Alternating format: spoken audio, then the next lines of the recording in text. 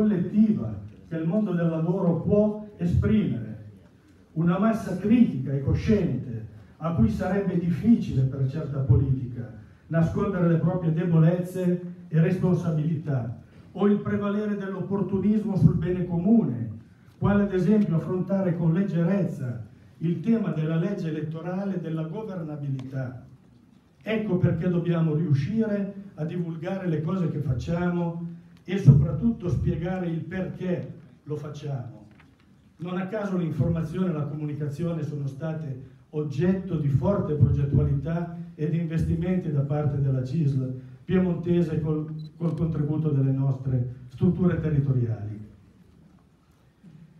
E infine, grazie ad ognuno di voi, delegati e dirigenti, per la nostra militanza che ci impegna come intelligenze e come cuori. Siamo portatori di una cultura positiva che parla di inclusione, di solidarietà, di diritti. Una CIS che non ha mai avuto paura di dire la verità, anche quando era scomodo, e di difendere le proprie idee a testa alta, perché siamo autonomi e liberi. Per i milioni di persone che si identificano nei nostri valori, rappresentiamo una speranza così come i nostri soci per noi sono la forza che ci sostiene e il motivo del nostro impegno. Grazie.